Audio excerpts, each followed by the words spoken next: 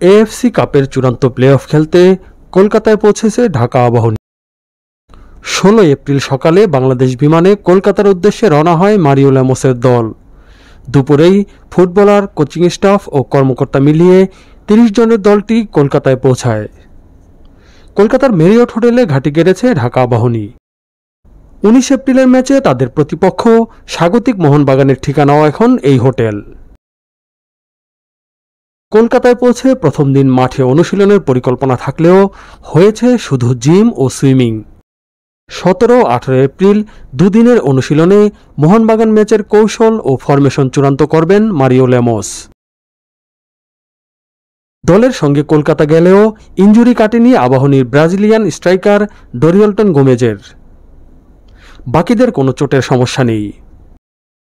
এদিকে কলকাতায় পৌঁছে নিজের ফেসবুক প্রোফাইলে মোহনবাগানের অধিনায়ক প্রীতম কোটালের উদ্দেশ্যে একটি বার্তা পোস্ট করেছেন আবাহনীর অধিনায়ক নাবিব নওয়াজ জীবন।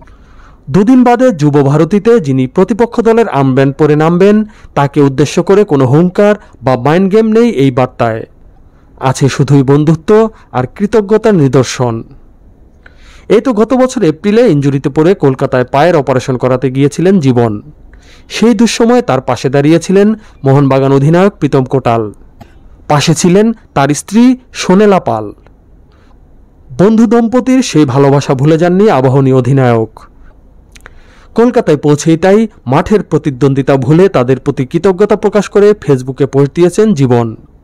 প্রীতম ও সোনেলার সাথে একটি সেলফি পোস্ট করে লিখেছেন, আমার কেরিয়ারের সবচেয়ে খারাপ সময়ে যে মানুষটি আমার পাশে ছিলেন, তিনি প্রীতম কোটাল।